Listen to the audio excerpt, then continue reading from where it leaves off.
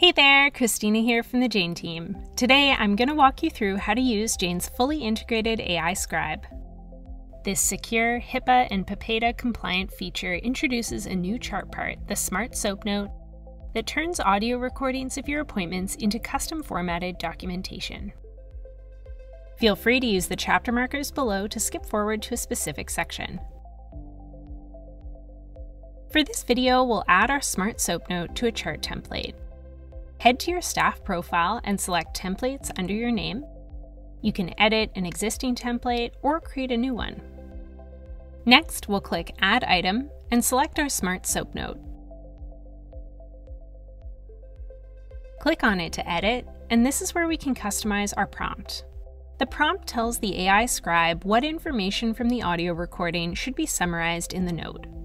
We start you off with a basic prompt, which you can edit or remove entirely. You can make your prompt completely from scratch, but we also have these prompt snippets to help. Just click on a snippet to add it to your prompt.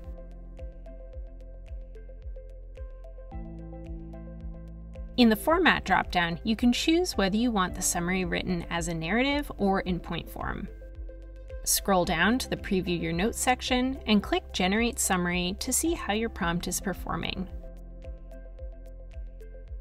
Once you're happy with it, click Save, and then save your chart template as well. Let's head to a patient or client's profile, create a new chart entry, and select our template.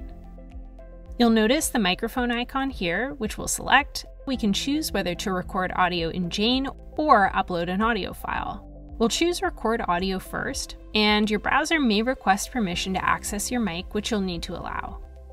Next, you can choose which mic to use and say a few words to make sure that the microphone is picking up your voice. Once we click the Start Recording button, we'll have a banner under the top blue bar where we can pause or end the recording. We can navigate away from this page and the banner will follow along. We'll click Finish to end the recording. And once the file is processed, we can click the patient's name here to jump back to the chart entry and review the summary. Now let's go over how to upload an audio file instead of recording directly in Jane. We'll choose Upload Audio File and select the recording from our device. Once the file is done processing, we can click on the patient's name and hop back to their chart.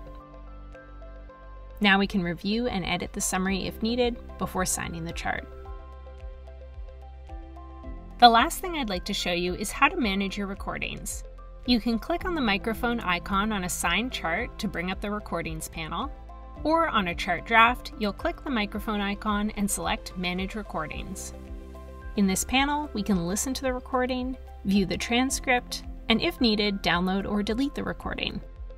Once you delete a recording, it's removed from your account and permanently wiped from our secure backups after a week. Thank you so much for joining me. For more details about AI Scribe, check out our guide below and reach out to our support team if you have any questions at support at jane.app. Bye for now.